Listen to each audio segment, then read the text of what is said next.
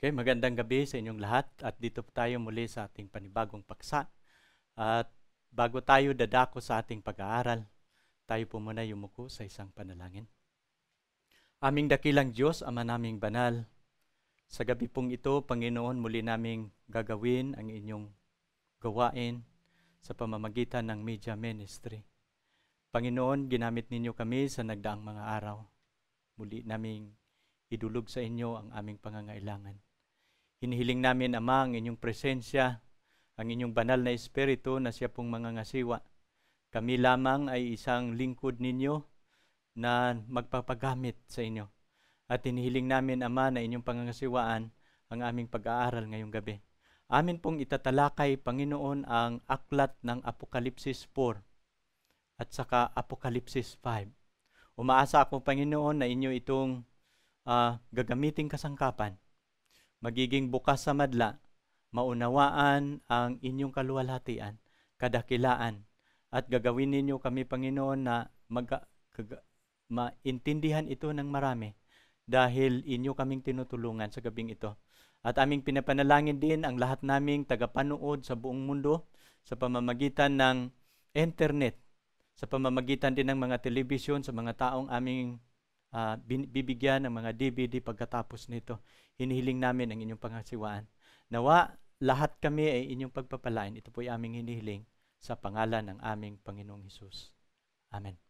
Okay, magandang gabi sa inyong lahat at bago tayo magpasimula, nais ko munang babatiin ang lahat ng mga nanonood sa uh, pamamagitan ng internet. Kami po ay nagpapasalamat na mayroon mga bagong kaibigan na na kumukontak sa amin at at kayo po'y pinagpala. Karamihan sa mga nanonood, nagpapasalamat na mayroon tayong ganitong ministry. At ito po'y uh, gawain ng Panginoon, nagpapagamit lamang kami. At kung kayo'y pinagpala sa aming mga kinawang um, ministeryong ito, isishare ninyo. Ngayong gabi, aming pinapasalamatan ang lahat na ng tagapanood saan man kayong lugar. Ipanalangin ninyo kami ng gawaing ito, magiging benefit sa lahat ng mga tao. Malapit nang darating ang Panginoon at makikita natin ang kahalagahan nito pagdating ng araw. Sana isa kayong makikinabang at maliligtas pagdating ng panahon. Ngayong gabi ating itatalakay ang pinakamagandang paksa.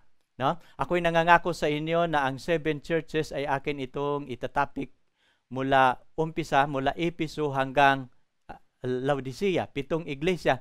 Pero puputulin natin muna ang uh, paliwanag sa Smyrna ay una kong itatapik ngayong gabi ang chapter 4 at saka chapter 5. Ang ating pag-aralan ngayong gabi ang chapter 4 at saka chapter 5. No?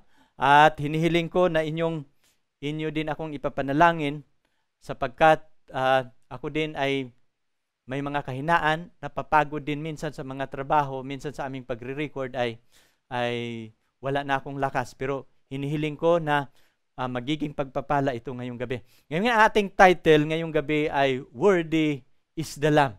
No? ang karapat-dapat ang korderong pinatay. Mapapansin ninyo sa chapter 4, ito po yung unang bersikulo sa chapter 4.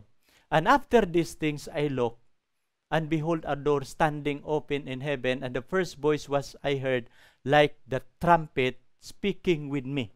Na mapapansin ninyo, ang chapter 4 at saka 5, in continuation ito sa chapter 1, 2 at saka 3. Napapansin ninyo, ang chapter 2 at saka chapter 3, nandyan ang kasaysayan sa pitong iglesia.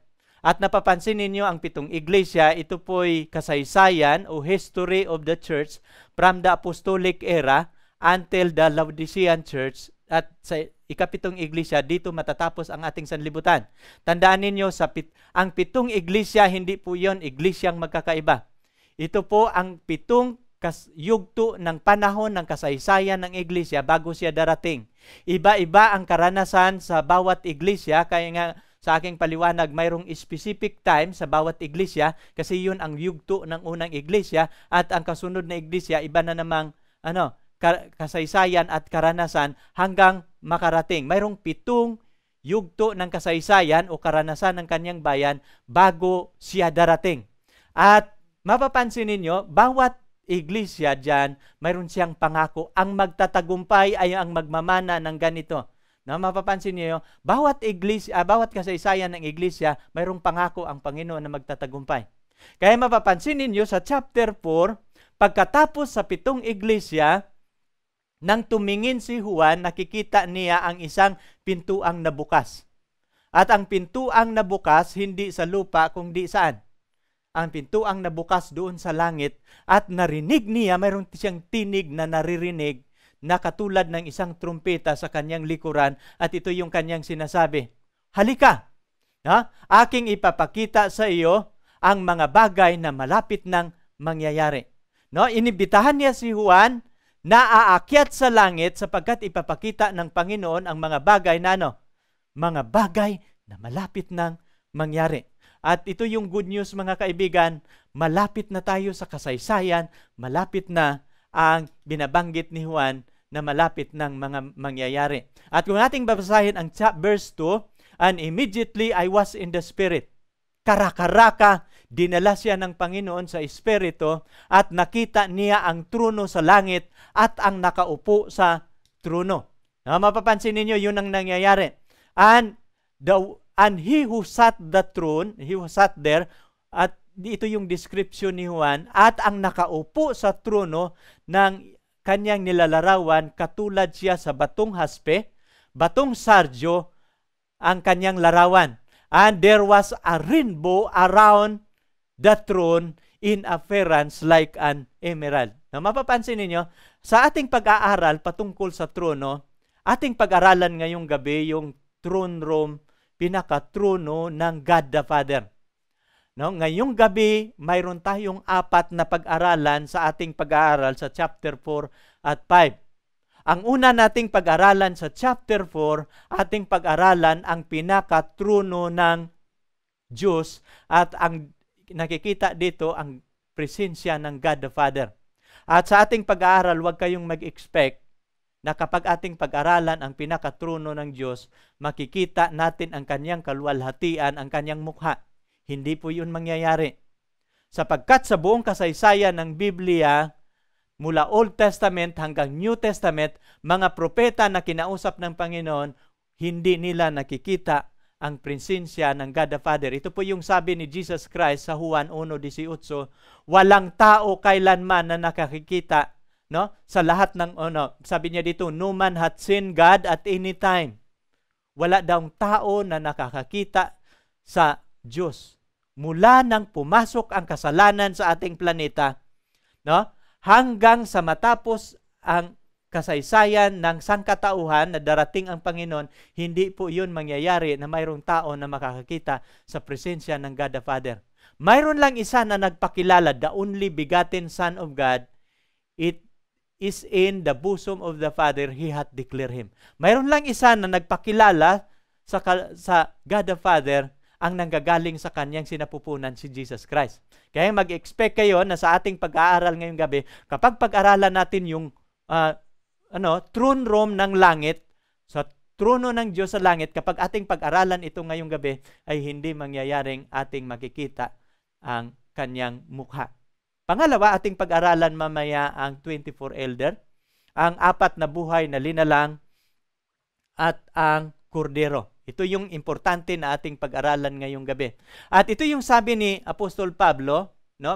Kanina si Jesus Christ ang nagsasalita. Ito naman yung sabi ni Apostol Pablo, who alone has immortality, dwelling in an approachable light, whom no man hath seen or can see. To whom be the honor and everlasting power. Amen. No, ito yung sabi ni Apostol Pablo, ano daw siya? Siya lamang ang walang kamatayan na nananahan sa hindi malalapitang liwanag. No mapapansin ninyo, saan nananahan ang God the Father? No? Hindi doon siya nakatira o nananahan sa liwanag na hindi malalapitan ng tao. Kaya nga, sa buong kasaysayan ng Biblia nang mula nang pumasok ang kasalanan, walang tao kailanman na nakakakita sa God the Father. No? Mapapansin niya dito, whom no man has seen or can see. Kaya nga, walang tao talagang nakakakita sa God the Father. Sabi niya, O Lord my God, ito yung sabi sa Psalms, no? You are very great. You are clothed with honor and majesty who cover yourself with light as with a garment. Na mapapansin ninyo sa sulat ni, ni David, sa kanyang sulat sa mga awit, Oh my God, sabi niya, Lord my God, ikaw Panginoon, ha, aking Diyos. Oh? Very great. You are clothed with honor and majesty. Anong kasuutan niya? Honor and majesty. Na who cover yourself with light as with a garment. Kaya mapapansin ninyo, ang nakabalot sa kaluwalhatian ng God the Father ay ano? Liwanag na katulad ng kasuutang damit. Kaya nga kung ating titingnan ang throne room ng God the Father sa langit, nang siya po'y dinala sa Espiritu, dinala sa langit, ang nang nakikita ni Juan, liwanag. At kung ating titingnan ang mga referensya sa Ezekiel, ito po yung nakikita ni Ezekiel. And above the permanent firmament no? Sa sa taas ng langit nakikita niya ang kanyang ulo was like a likeness of a throne. A throne in the appearance likeness of a sapphire stone. No, nakikita niya kasi sa aklat ng Ezekiel, titingnan ninyo, ito yung kasaysayan kasi mula is Isaiah, Jeremiah, Ezekiel at saka Daniel, mayroong mensahe ang Panginoon sa is, sa Israel dahil sila ay nagiging mga adulatrous people, mayroong warning si Jeremias at ang Jeremias sabi niya kung hindi sila magsisisi, magiging alipin sila sa Babylonia. At nung hindi talaga sila nagsisisi, hinahatulan sila sa aklat ng Ezekiel, bumaba ang presensya ng Panginoon at nagbibigay hatol ang Panginoon. Kaya nga nakikita ni Ezekiel ang Panginoon na ang trono ng Panginoon sa pangitain ni Ezekiel at ang pangitain ni Ezekiel nakita niya ang appearance ng ating Panginoong Diyos katulad ng appearance ng sapphire stone. The likeness of the throne no was likeness of the appearance of a man high above it. Kaya magtitingnan ninyo yung 27, also the appearance of his waist upward I saw as it were the color amber with appearance of fire all around it. Mapapansin niyo nakikita ni no appearance like a burning ano fire si, katulad ng nagliliyab na apoy o metal na nagbabaga. Kaya pag makik yun ang presensya na nakita ng ng ni Ezekiel. At hindi lang 'yan. Kung ating titingnan ang mga referensya si Moses nakakita din sa presensya ng Panginoon sapagkat si Moses bumaba ang Panginoon sa bundok ng Sinai. Ito yung description ni Moses sa presensya ng Panginoon. Ating tinitingnan ang presensya sapagkat yun yung nakikita ni Juan. No? Pero hindi lang si Juan ang nakakakita sa liwanag ng Panginoon, pati si Ezekiel, si Isaiah, no? si Moses, nakita nila ang kaluwalhatian ng God the Father at ito yung kanilang nakikita. And the sight and the sight of the glory of the Lord was like a devouring fire on the top of the mount in the eyes of the children of Israel. Ano ang ang larawan na nakikita ni Moses sa God the Father? Like a devouring, katulad siya ng apoy na pumupugnaw. No? Apoy na sumusunog, matinding, ano, yun ang liwanag na nakikita ni Moses.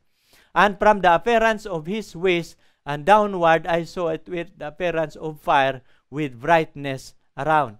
Na mapansin ninyo, ganun lahat ang description na nakikita ni Juan, ni Ezekiel, ni Moses, nang nakita nila ang presensya ng Panginoon. Mapapansin ninyo, ang description ni Ezekiel, like the appearance of a rainbow, a clouds of a rainy day. At gusto ko itong ipapaliwanag, no? At ngayong gabi, tatanungin ko kayo. Kung mayroong appearance ng rainbow sa trono ng God the Father, No, saan ba nanggagaling ang rainbow? Kung inyong pag-aralan sa pag-aaral ng mga science, kung bakit mayroong rainbow na tuklasan natin dahil sa dalawang bagay, liwanag at saka tubig. At kung pag-aralan natin ngayong gabi ang pinakatruno ng Panginoon, ang dalawang bagay, liwanag at tubig, mayroon sa truno ng Panginoon. For example, sa sa Proverbs 6:23, For the commandments is a lamp and the law, a light, reproof of instruction are the ways of life. No? Ito yung sulat ni ni Solomon patungkol sa kautusan ng Panginoon at ang kautusan ng Panginoon tinatawag niya the commandments is a lamp. Lampara itong kautusan ng Panginoon. At ang batas niya ay ano? Liwanag. At ang kautusan ng Panginoon, reproof and instruction, ano ito? Mga daan ito ng buhay. Hindi lang si Jesus ang daan ng buhay, pati ang kautusan niya, lampara at liwanag ito. Mapapansin ba nino ang, ang tinatawag na kaban ng tipan sa, sa, sa tabernakulo ng ng Israelita sa ilang, kung ating titingnan itong kaban ng tipan, kung saan makikita natin ang dalawang kerubin, sa kalagitnaan ng dalawang kerubin, ito ang tinatawag na si Kaina of Glory, yung mercy seat, pinakatrono ng Diyos, at sa ibabaw, sa ilalim ng trono ng Diyos, yan po ang lalagyan ng ang kaban ng tipan, tinatawag na kaban ng tipan, sapagkat yun ang sisidlan ng Ten Commandments. Pero ang Ten Commandments, ito yung larawan o ito yung copy na nakikita ni Moses sa langit nang ginawa nila ang tabernakulo. Nilalarawan sa, ta- sa kaban ng tipan na sa ilalim ng upuan ng God the Father sa langit ay nang doon sa ilalim ng kanyang upuan ang pundasyon ng kanyang kautusan.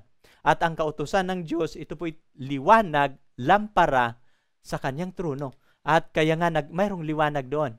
At hindi lang yan, binabanggit ko kanina na sa trono ng Diyos, diyan nagmumula ang tubig. Tubig ng ano? Tubig ng buhay. No, pag inyong babasahin yung 22 ng Apokalipsis, mula sa trono ng Diyos at ng Kordero, nagmula ang bukal ng tubig ng buhay na o, napatungo sa mga lansangan ng bagong Jerusalem. Mapapansin ninyo, kaya nga You know, at hindi lang yan, sa 22.17, ito yung nakasulat, And the Spirit and the bride say, Come. No, inimbitahan si Juan, Let him who hears see come. No? Yung mga nakikinig, magsasabi, halika. Let him who thirsts come. Yung mga nauuhaw, halika. Halika yo. Whosoever desire, desires, let him take the water of life freely. Saan ang gagaling ang water of life? Doon sa pinakatrono ng Diyos. Kaya nga mapapansin ninyo, sa pinakatrono ng Diyos, nandoon yung bahag hari. No? Rainbow. What is the symbol of a rainbow? The symbol of a rainbow is a promise of the Lord. At alam niyo lahat ng mga pangako ng Diyos nagmula sa tronong ito. At hindi lang ang mga pangako niya nagmula sa tronong niyan, pati ang buong aklat ng Apokalipsis. Kung mayroong nagsulat ang bawat kapitulo ng Apokalipsis, dito nangyayari sa true, very throne room of the Father. No?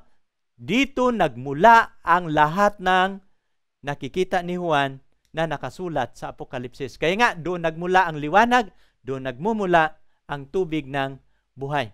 No? At is, ang description ni Juan, hindi lang nakikita niya ang trono, hindi lang nakikita niya ang liwanag, nakikita din niya ang dagat na salamin. Before the throne, there was a sea of glass. Ang dagat na salamin na katulad ng bubog. No? And I saw something like a sea of glass mingled with fire. At hindi ito ordinaryong sea of glass na nakita niya doon sa langit, ay katulad ng tiningnan ito ni Juan, katulad ng ano, may nahahalong apoy. No? And there was under his at ilalim ng kanyang mga paa ay a work of sapphire stone and it was like a, a very heavens in its clarity. No? Yu, uh, kaya nga si Lucifer, nung hindi pa siya nagkasala, akyat pababa siya sa batong mahalaga. Na mapapansin, ating pag, atin nang natutunan ang pinakatruno ng Panginoon at yun yung description. We cannot expect dyan na ipakilala niya sa atin ang Panginoon na nakikita niya ang mukha na katulad ng mukha ng tao. Hindi yan mangyayari. Kadu- pangalawang pag-aralan natin ngayong gabi, mga kaibigan, o mga kapatid o taga-subaybay natin, ang pangalawa nating pag-aralan na nakikita ni Juan doon sa langit, nung siya'y umakyat at nakita niya ang pangitaing ito, nakikita niya ang grupo, pangalawang grupo, ay ang 24 ka mga matatanda, oh, 24 elders. And around the throne were 24 thrones. And on the thrones I saw 24 elders sitting clothed in white robes, and they had crown of gold in their heads. Na? At kung ito yung trono ng Panginoon, sa palibot ng trono, napapalibutan ito ng mga trono pa. At ilang trono ang nakapalibot sa trono, mayroon pong 24 ka mga trono. At hindi lang yan, mayroong nakaupo sa trono. At sino itong nakaupo sa trono? Nakikita ni Juan ang 24 ka mga elder. Ang 24 ka mga elder, gusto kong ipapaliwanag sa inyo na hindi po ito mga anghel. Kundi sila po'y mga tao na binuhay na nanggagaling sa lupa. Mamaya atin itong ipapaliwanag saan ba nanggagaling itong 24 elder. Basta baybayan ninyo ito mamaya. Ipapaliwanag ko yan bago matatapos ang paliwanag ko sa 24 ka mga elder. Now dito sa verse 8, verse 8, now when he had taken the scroll the four living creatures and the 24 elders they fell down before the lamb. No? Sa verse 5, tatalon muna tayo sa verse 5 sapagkat kukunin natin ang ang mga tala sa 24 elder, no? Nang kinuha ng kordero ang nalululun na aklat sapagkat walang makakakuha maliban sa kanya, sumamba ang apat na linalang at ang 24 ka mga elder sa harapan ng kordero. No, mapapansin ninyo, it's having a harp. Ang 24 ka mga elder at ang apat na linalang, dalawa po ang hawak nila. Bawat isa sa kanila mayroong hawak na alpa. Ginagamit ito nila sa pagpupuri sa Panginoon. No? At ang isang kamay, mayroon naman silang hawak na golden bowl. At naglalaman ito, puno ito ng mga insinso at ang kahulugan ng insinso which are the prayer of the saint. Lahat tayo sa lupaing ito, gusto kong ipapaliwanag sa inyo, bawat tao sa lupang ito na lingkod ng Panginoon mayroon po mga panalangin. At alam ninyo kung sino ang magdala ng ating mga panalangin, ang ating mga guardian angel, sila po ang magdala ng ating panalangin sa pinakapresensya ng Panginoon sa langit. At bago ito tatanggapin ng Panginoon, sasagutin niya o hindi ang ating panalangin, hahawakan muna ito ng kanyang 24 ka mga elder at mga apat na linalang. Tandaan ninyo, ito yung gawain ng ating pag-aralan ang kanilang gawain, ito yung gawain nila. Ang 24 ka mga elder, mayroon po silang hawak na mga alpa at ang pangalawa, golden bowl na puno ito ng mga insenso sa panahon ng pag-worship, how dala-dala nila ang mga panalangin ng mga banal. No? Sila po ay mag-participate, ganun po ang kanilang participation sa langit. And this sang a new song, seeing, ito yung awit nila, you are worthy to take the scroll, to open it, seal, for you were slain, and you have redeemed us to God by your blood, and out of every tribe, tongue, people, and nation. Sabi niya, ang kordero na pinatay, karapat dapat sambahin sapagkat ikaw ang nagligtas sa amin no? sa pamamagitan ng iyong dugo, ang tinutukoy po dito ay si Jesus Christ. Na mapapansin nun, sino itong 24 elders? No? Ang 24 elders, they are a special people. Napakahalaga na ano, ang grupo sa 24 ka mga elder. Kung magtanong kayo ngayong gabi, Brother John, saan ang gagaling ang 24 elder? Kung sila po'y special na grupo ng mga tao, saan po ba sila nanggagaling? Ang 24 ka mga elder, kung babasahin ninyo ang Mateo 27, no? walang ibang tala sa Biblia na ating mapaghuhugutan, mapagkukunan, saan ba nanggagaling itong 24 elders ngayon na nakita ni Juan sa langit? Kung sila po'y grupo ng mga tao, paano nangyayari na mayroong 24 ka mga elder? Ang alam ng mga tao, ang nakaakyat sa langit si Moses, si Elias, no? si Enoch. Pero maliban sa tatlong mga tao na dinala sa langit, mayroon pang another 24 elder. At saan ba nanggagaling itong 24 elders? Ikikwento ko sa inyo ngayong gabi. Nung napako si Jesus Christ doon sa cross, no? bago siya sumigaw ng it is finished, nanalangin si Jesus Christ sa kanyang ama. Ama, sa mga kamay mo ipagtagubilin ko ang aking espiritu. At pagkasabi ng niya nito, nalagot ang kanyang hininga. No? Bago nalagot ang kanyang hininga, mayroong ibang tala sa ibang mga aklat sa gospel. Sumigaw si Jesus Christ, it is finished. At pagsigaw niya sa may oras ng alas 3 ng hapon, naglindol sa buong bayan ng Israel at anong kasunod na nangyayari sa lindol, na nga bukas ang libingan. Kung gusto ninyong mababasa ang talata, Mateo 27:51 to 54. Nang nabukas ang mga libingan, nang na, na, nabiak ang mga bato, mayroong mga nabukas na libingan, lumabas ang mga banal.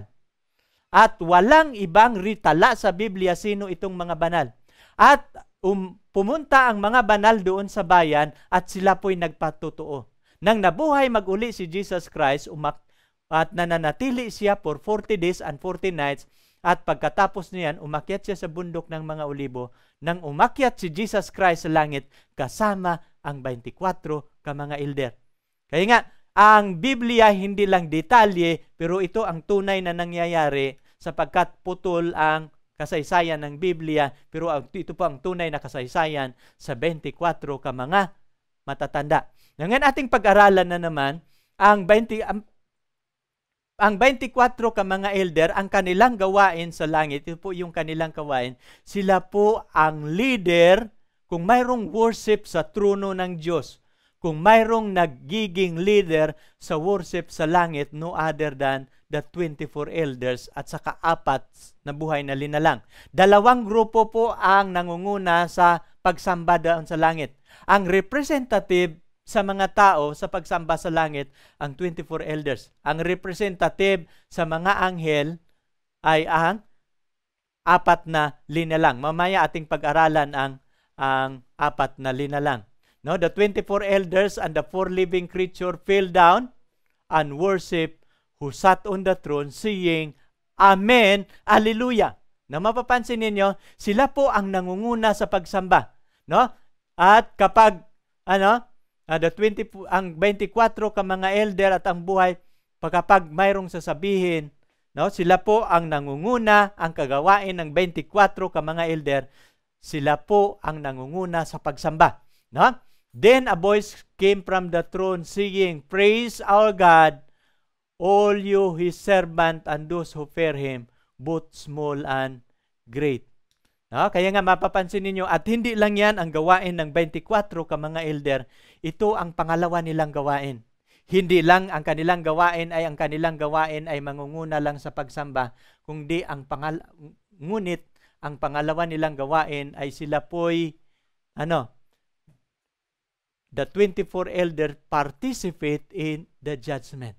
Ating napag-aralan sa mga una kong topic ang tatlong uri ng judgment. Mayroong tinatawag na investigative judgment, millennial judgment at saka executive judgment. At ang ang investigative judgment kailan nag-umpisa 'yon? Mula 1844. At ang judgment na ito pinangasiwaan ni Jesus Christ sa trono na sa most holy place sa tabernakulo ng Diyos. At alam ninyo, Sino ang witness? Sino ba ang nagiging witness sa judgment na ginagawa ni Jesus Christ? At alam niyo ito yung katotohanan. Ang 24 ka mga elder, hindi lang ang gawain nila ang magiging to lead the worship, kundi par- mag-participate sila sa judgment na ginagawa ni Jesus Christ doon sa langit. So ito yung mga tala, no? Uh, Revelation 11:16 to 18. And the 24 elders who sat before God, on their thrones fell on their face and worship God. No? Sinamba nila ang Diyos. We give thanks, O God, O Lord God Almighty, the one who is and the one who was and who is to come. No, mapapansin niya, sinamba nila ang Diyos because you have taken your great power and reign. No? The nation were angry and your wrath has come and the time of the dead that these should be judged and that you should reward your servant, the prophet, and the saint. Mapapansin ninyo, nakikita nila, you, your wrath has come, and the time of the dead that this should be judged. Noon mapapansin ninyo na kailangan silang mahatulan sapagkat ang judgment na ginagawa ni Jesus Christ bago siya darating sa ating planeta, ang sino ang nagiging witness doon sa langit sa judgment na ito? Ay no other than the 24 elder. And those who fear him, superior name, small and great, should destroy those who destroy the earth. Nung ngayong gabi, maaring magtanong kayo, Brother John, Bakit 24 ka mga elder ang nagiging witness sa paghatol ni Jesus Christ na ginawa sa langit? Kung mayroong gagawin si Jesus Christ, bakit 24? Bakit hindi dalawa o tatlo? No? At ito yung tunay na kadahilanan because the 24 elders, ano, ang 24 ka mga elders ay ano dito, we find out that 24 elders are of different personality types so that so what as they are. No? Ang 24 ka mga elder ay ano sila dito? Uh, different personality types. Magkakaiba ang kanilang personality types. Paano ko ito ipapaliwanag? Ang ang tribo ni Israel, mayroon po silang labindalawang tribo. Na mapapansin ba ninyo ang mga ugali ng 12 tribe of Israel? Mayroon iilan sa mga anak ni Jacob nakaranas ng pumatay. No? Mapapansin ninyo si Joseph, muntik na nilang patayin. Marami sa kanila mainitin ang ulo, mayroong ilan sa kanila sinungaling, mayroon sa kanila, mayroong iilan sa kanila bababae, mga bababaero. Iba-iba ang kanilang personality types. Na napapansin ba ninyo sa ating pinag-aralan na hawak ng ang hawak ng 24 ka mga elder, hawak nila ang alpa, ginagamit nila sa pagpupuri sa Panginoon, at ano dito ang pangalawang hawak sa ikalawang kamay?